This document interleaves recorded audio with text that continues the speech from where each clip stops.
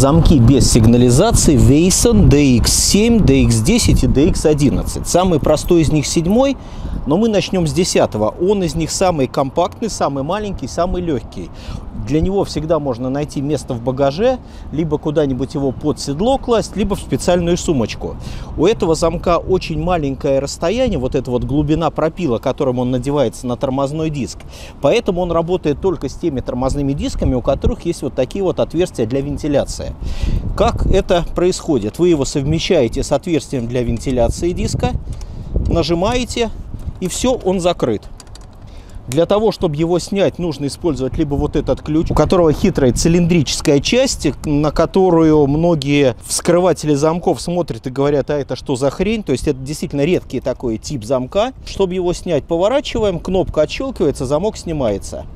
Вот вы видите, например, в самую глубокую дырочку диска, он уже не залезает, ему не хватает глубины пропила.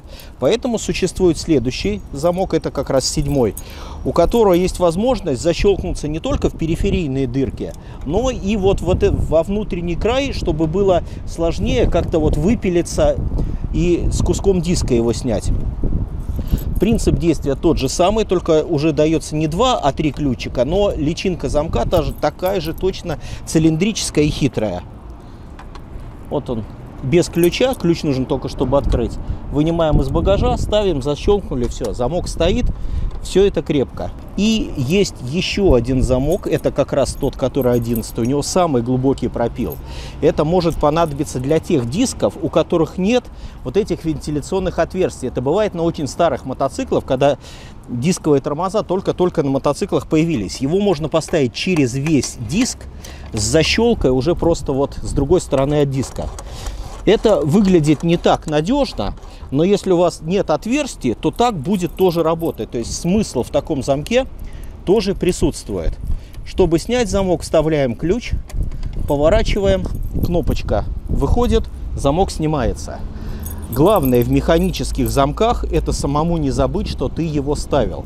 Потому что если ты тронешься с неснятым замком, то гарантированно ты попортишь суппорт, в который упрется замок, ты можешь погнуть диск, и ты уронишь мотоцикл.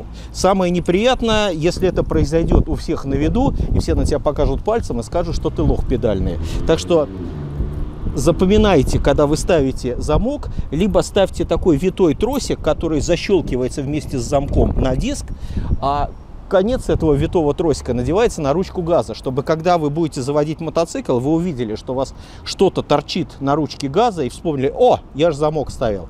И в результате не уроните и не поломаете свой мотоцикл. Замки без сигнализации Вейсон DX7, DX10 и DX11.